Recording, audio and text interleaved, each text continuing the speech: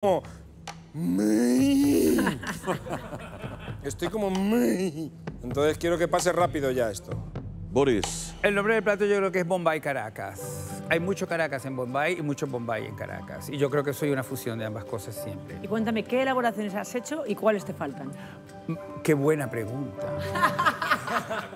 Pero vamos a ver, me falta principalmente la famosísima crema inglesa que siempre se interpone en nuestro amor. Siempre. ¿Y las cejas? Las pañuelos de zana- zanahoria, Las claro. cejas de zanahoria, por una razón loca en mi cabeza pensaba que le iban a traer los Reyes Magos otra vez de vuelta, ¿entiendes? ¿Y la ganás? El mundo ganache, es verdad, el mundo ganache. Madre mía, no has hecho nada, pero ¿qué ha presentado?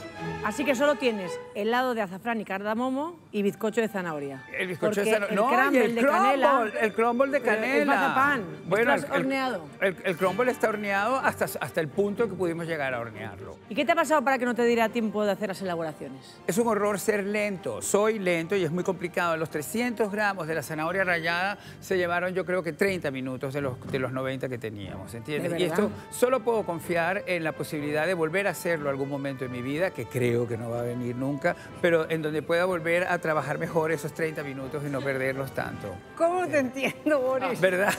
Le entiendo perfectamente, porque ¿cuándo vas a hacer esto? ¿Me lo puedes explicar? Es- bueno, ¿A quién le vas a poner esto a comer en tu casa? A ver. espero que a nadie. Yo te diré que no es un helado, es un algo raro.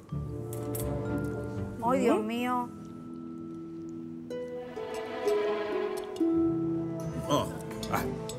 Esto parece una carpintería.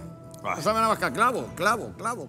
Es un postre muy farmacéutico, ¿verdad? Sí, ¿Eh? lleva tiene la boca balsámica todo el rato. Entre el clavo. Bueno, si a eso le añadimos que el crumble Como si salieras del dentista, ¿eh? crudo, Oh.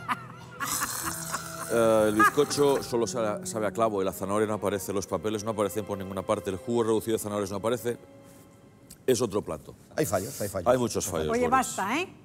Sí, Ya está bien ver, esto. ah, Bien, me Boris, parece bien. Sabes que... Basta, porque Boris es amigo mío. Y amigo Qué mío. No, no, no, no. Y nuestro, y lo vas a Lo encargar. estáis machacando, o sea, No. por favor. Venga mi Que me voy. Mercedes ahí, muy bien, muy bien. Yo me es- pongo, yo me pongo, me pongo, voy Mercedes, agachando es el duro trabajo, el duro trabajo de ser jurado Masterchef Claro, es- es que decimos la verdad. Mira, a mí me da lo mismo lo que haga Boris. Ah, bueno. Lo que haga me parecerá siempre extraordinario. Porque él es extraordinario. Por lo tanto, de él no puede salir nada más que algo extraordinario. Como todo en la vida es equilibrio. Tú estás tan desequilibrado a favor de la inteligencia, la fantasía, el espectáculo, que a la fuerza la cocina tiene que estar aquí, porque si no, no puede ser.